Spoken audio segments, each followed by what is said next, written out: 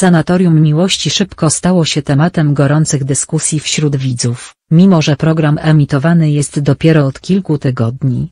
Kurasjusze, którzy zjednoczyli się w malowniczej kronicy, zdroju, od początku wydawali się zdeterminowani, by w pełni wykorzystać swoją szansę w programie. Szczególnie aktywna okazała się Małgorzata z Sobótki, która szybko skierowała swoje zainteresowanie w stronę Andrzeja z Milanówka, licząc na wzajemność. Andrzej, choć okazywał Małgosi sympatię, zdawał się być równie miły wobec innych uczestniczek, co z czasem doprowadziło do zawiązania się bliższej relacji między nim a Teodozją, inną kuracjuszką. Ta sytuacja wywołała zazdrość u Małgorzaty, która zapowiedziała, że zemści się na Andrzeju za jego niestałość. Reakcje widzów na rozwój wydarzeń były mieszane. Niektórzy ostro skrytykowali Małgorzatę za jej postępowanie, bronili Andrzeja, argumentując, że nie zrobił nic złego i nie obiecywał Małgorzacie więcej, niż mógł. Ocenili zachowanie Małgorzaty jako nieodpowiednie i porównali je do reakcji nastolatki.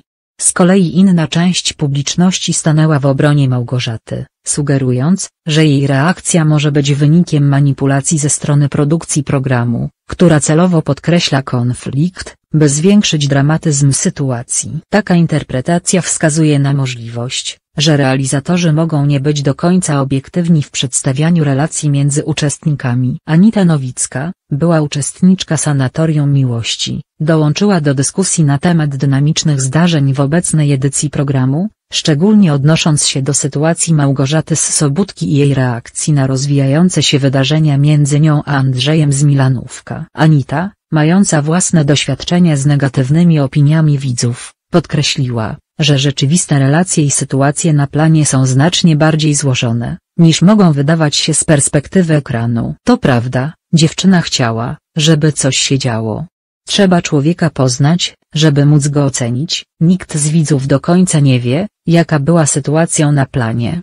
Dzięki niej coś się dzieje i nie ma nudy, zauważyła Anita, podkreślając, że Małgorzata wnosi istotny wkład w dynamikę programu. Nowicka, która sama była krytykowana i niesłusznie oceniana przez widzów jako materialistka, wskazuje na istotny problem szybkiego i często niesprawiedliwego osądzania uczestników programów telewizyjnych. Jej doświadczenia z poprzedniej edycji Sanatorium Miłości ujawniają, jak łatwo widzowie mogą wyrobić sobie opinię na podstawie ograniczonych informacji, nie zawsze oddających pełen kontekst czy intencje osób przedstawianych na ekranie. Co do przyszłości relacji Małgorzaty i Andrzeja, trudno przewidzieć, jak potoczą się dalsze wydarzenia.